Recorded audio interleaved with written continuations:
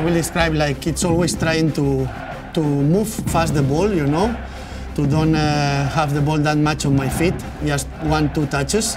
You get also the other team running around, and it's it can make a dangerous uh, action. Will bring this one down here up against Mensah.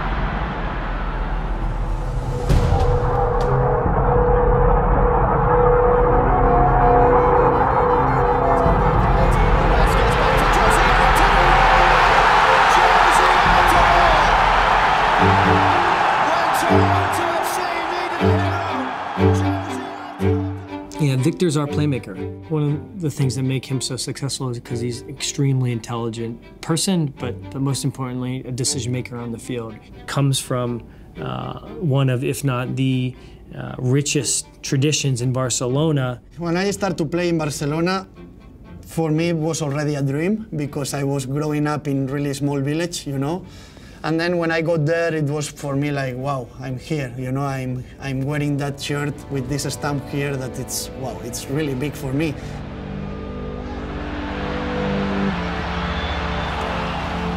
Yeah, I have a tattoo here that it says only the strongest survive because when I got injured on my knee it was really hard period for me it was like 14 months out from the soccer I was really sad and upset and I say okay my time is over. Now I feel my knee like it's not gonna work the same you know? The coaches that make a lot really impact on me it was Guardiola and Luis Enrique. They came to me and they say okay Victor don't worry. You're gonna be a great player for sure. You're gonna recover. You're gonna work hard and you're you're gonna come back. I really appreciate that Guardiola and Luis Enrique were all the time behind me you have to take always the good things and when you have the bad things you know now I have to start to think outside from Barcelona